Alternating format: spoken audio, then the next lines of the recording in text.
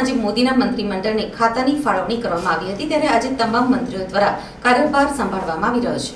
મહત્વનું છે કે મોદી સરકારના મંત્રીઓની ખાતાની ફાળવણીમાં ખાસ કરીને મોદી કેબિનેટમાં અમિત શાહને ફરીથી ગૃહ મંત્રાલય અને રાજનાથ ફરીથી સંરક્ષણ મંત્રાલયની જવાબદારી સોંપવામાં આવી છે.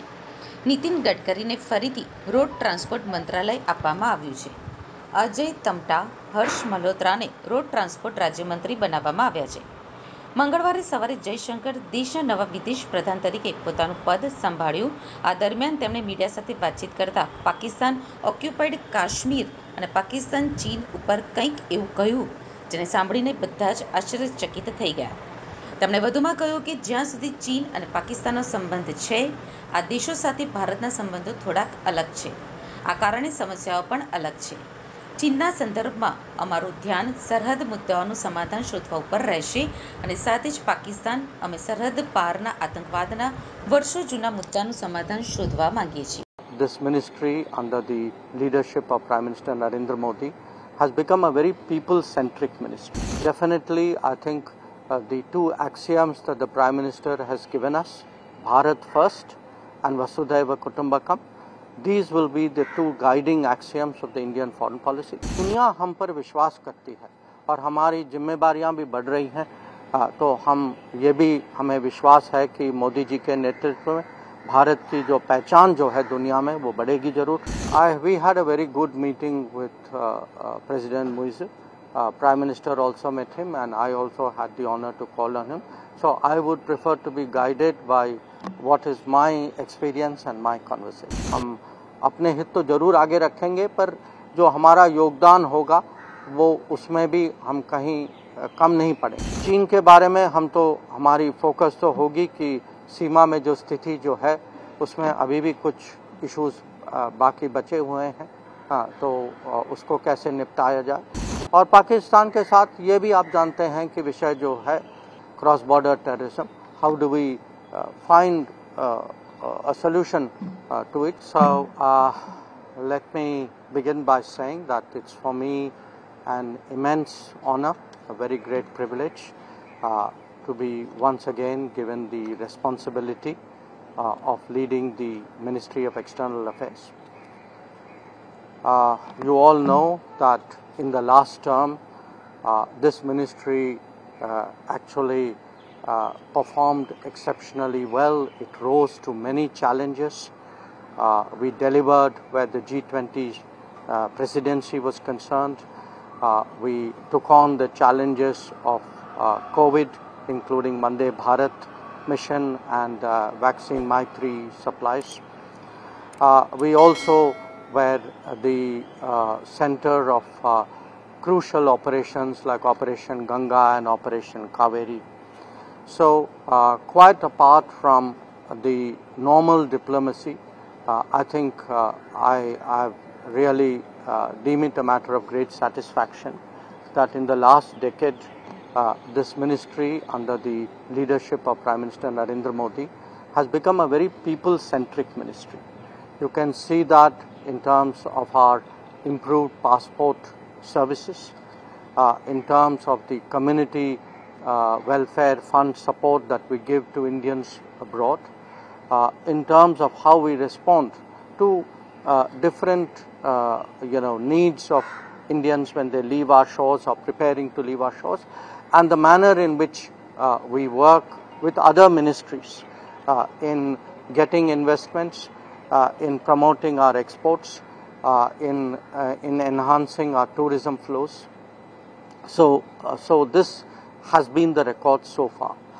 Looking ahead, uh, definitely, I think uh, the two axioms that the Prime Minister has given us, Bharat first and Vasudhaiva Kutumbakam, these will be the two guiding axioms of the Indian foreign policy. So, uh, and together, uh, we are very confident it will position us uh, as Vishwabandhu, uh, a country which is in a very turbulent world, in a very divided world, a world of conflicts and tensions. Uh, it would actually uh, position us uh, as a country uh, which is trusted by many, uh, which uh, whose prestige and influence will grow, whose interests will be advanced, and I once again deem it an enormous honor to be assigned the responsibility of leading this ministry.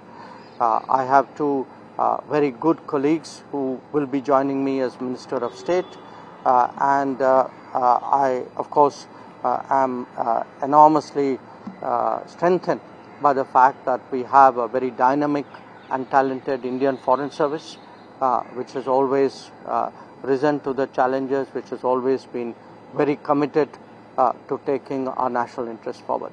So, really a great pleasure to meet you all on my first day of work, uh, and thank you very much for coming here so early. Thank you. So you're hopeful that UNSC seat will be possible in next five years under your tenure? I, I think uh, for us, uh, the, the role of in India, the influence of India, uh, that has been steadily growing. Uh, not just uh, you know uh, in terms of our own perception, but अगर आप देखें दूसरे देश हमारे बारे में क्या कहते हैं उनको भी लगता है कि आज भारत जो है सचमुच उनका मित्र है।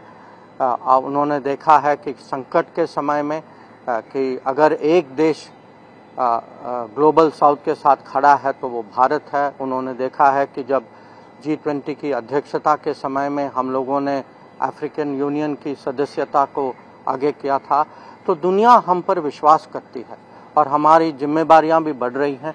तो हम ये भी हमें विश्वास है कि मोदी जी के नेतृत्व में भारत की जो पहचान जो है दुनिया में वो बढ़ेगी ज़रूर और यूएनएससी का सवाल आपने उठाया पर उसके अलग अलग और भी पहलू हैं और मुझे पूरा विश्वास है कि उनके नेतृत्व में मोदी 3.0 की विदेश नीति जो है बहुत सफल होगी what will be your priorities in uh, the region that we are in, the South Asian region?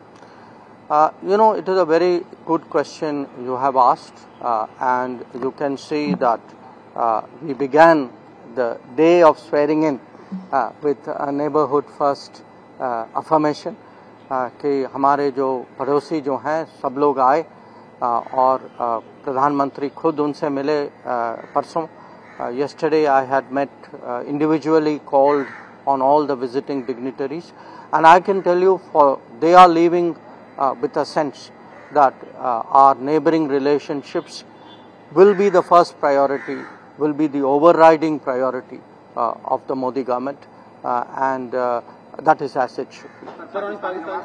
તો અશ્વિની વૈષ્ણવને વડાપ્રધાન નરેન્દ્ર મોદી દ્વારા રચવામાં આવેલી નવી કેબિનેટમાં રેલવે મંત્રી તરીકે ફરીથી નિયુક્ત કરવામાં આવ્યા છે તેમણે અગિયારમી જૂને સાઉથ બ્લોકમાં ચાર્જ સંભાળ્યો હતો અશ્વિની વૈષ્ણવને એક પોર્ટફોલિયો સોંપવામાં આવ્યો છે જેમાં રેલવે મંત્રી માહિતી અને પ્રસારણ મંત્રી અને ઇલેક્ટ્રોનિક્સ અને ઇન્ફોર્મેશન ટેકનોલોજી મંત્રીનો સમાવેશ प्रधानमंत्री श्री नरेंद्र मोदी जी को भारत ने एक बार फिर आशीर्वाद देकर देशवासियों की सेवा का जो एक मौका दिया है उसमें रेलवे का बहुत बड़ा एक रोल रहेगा आप जैसा जानते हैं पिछले दस वर्षों में प्रधानमंत्री श्री नरेंद्र मोदी जी ने रेलवे में बहुत बड़े सुधार किए हैं।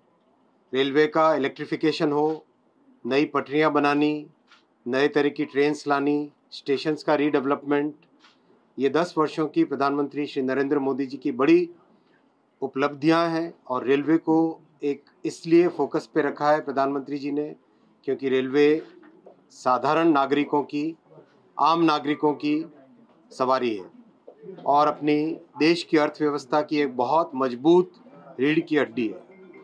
इसीलिए रेलवे पे बहुत फोकस है। मोदी जी का भावनात्मक संबंध है रेलवे के साथ। इसी विजन को, प्रधानमंत्री जी के इसी विजन को, जो पिछले दस सालों में ट्रांसफॉर्मेटिव विजन रहा है, इसी विजन को आगे इम्प्लीमेंट करने की ज़िम्मेदारी दी है प्रधानमंत्री जी ने मैं उनका आभारी हूँ हृदय से प्रधानमंत्री श्री नरेंद्र मोदी जी को धन्यवाद देता हूँ I was not expecting this ministry, so it's a it's a huge responsibility.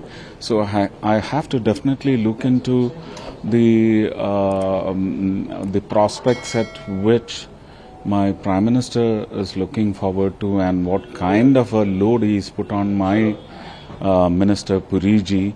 So after uh, going through all those, uh, um, the content of the next level of emerging petroleum systems in India, after learning it properly, maybe I will be able to put in my contribution on the basis of the understanding that I've had from the uh, living standards, the life settling standards of the people of Kerala and Tamil Nadu. Definitely, that will be a standard understanding of the uh, conditions of the life of the people in the country, and then looking at the prospects of uh, oil exploration. Uh, it is said that there is a spot in Kollam, which is the uh, uh, district and town which brought me up. Uh, it is the same town which taught me the language that you are listening listening to now. So uh, let's keep our thoughts open, so that I will also keep my thoughts open to imbibe from my senior uh, minister and also my prime minister, also the panel who will support me. But thanks to the people of Kerala through Trichur, I bow before them. Thank you all very much. You gave me this opportunity. તો LJP chief અને મોદી કેબિનેટના મંત્રી ચિરાગ પાસવાને food processing ઇન્ડસ્ટ્રીઝનો charge સંભાળ્યો કેન્દ્રીય મંત્રી જયંત ચૌધરી કૌશલ્ય વિકાસ અને ઉદ્યોગ સાહસિકતા મંત્રાલયના રાજ્યમંત્રી તરીકેનો ચાર્જ સંભાળ્યો છે. પેટ્રોલિયમ અને પ્રાકૃતિક ગેસ મંત્રાલયે રાજ્યમંત્રી તરીકે કાર્યભાર સંભાળ્યો. કેન્દ્રીય મંત્રી ગિરિરાજસિંહે ટેક્સટાઇલ મિનિસ્ટર બનાવવામાં આવ્યા છે. ત્યારે તેમના દ્વારા આજે કાર્યભાર સંભાળવામાં આવ્યો છે. મનોહર લાલ ખટ્ટરે કાર્યભાર સંભાળ્યો. તેમણે મિનિસ્ટર ઓફ પાવરના પદનો કાર્યભાર સંભાળ્યો.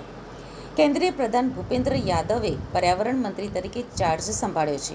તેમણે કહ્યું કે મને ફરીથી આ મંત્રાલયની જવાબદારી આપવા બદલ હું નરેન્દ્રભાઈ મોદીનો આભાર વ્યક્ત કરું છું. વડાપ્રધાનના નેતૃત્વમાં આ મંત્રાલય દ્વારા ઘણા મહત્વપૂર્ણ પગલાં લેવામાં આવ્યા છે અને અમે પર્યાવરણને સુનિશ્ચિત કરવા માટે સાથે મળીને કામ કરી રહ્યા છીએ. દેશમાં હરિયાળી અર્થવ્યવસ્થાને આગળ વધારવા માટે કામ કરવામાં આવી રહ્યું છે. આ સાથે જ અમે ઘણા મહત્વપૂર્ણ કાર્યોને આગળ ધપાવીશું. અમિત શાહને બીજી વખત ગૃહમંત્રી બનાવવામાં આવ્યા છે. ગૃહ મંત્રાલય ઉપરાંત તેઓ સહકાર મંત્રાલય પણ સંભાળશે. અમિત શાહે બીજી વખત ગૃહ મંત્રાલયની જવાબદારી આપવા બદલ પીએમ નરેન્દ્ર મોદીનો આભાર માન્યો હતો. તેમણે કહ્યું કે સુરક્ષિત અને મજબૂત ભારત ઉપર કામ ચાલુ રહેશે. આ સાથે જ પીએમ મોદીના સક્ષમ નેતૃત્વ હેઠળ સહકાર મંત્રાલય, સહકાર દ્વારા સમૃદ્ધિના વિઝન સાથે ખેડૂતો અને ગામડાઓને સશક્ત બનાવવા માટે પ્રતિબદ્ધ રહેશે.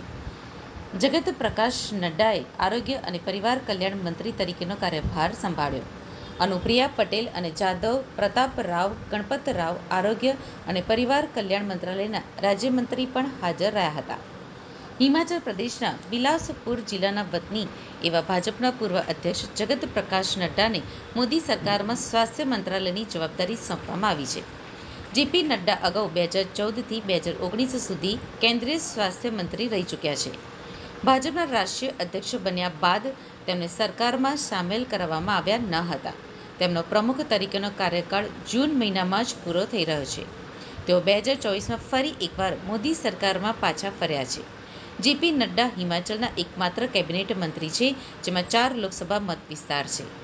શ્રી સી આર પાટીલે આજે જળ શક્તિ મંત્રાલયમાં કેન્દ્રીય મંત્રી તરીકેનો ચાર્જ સંભાળ્યો હતો.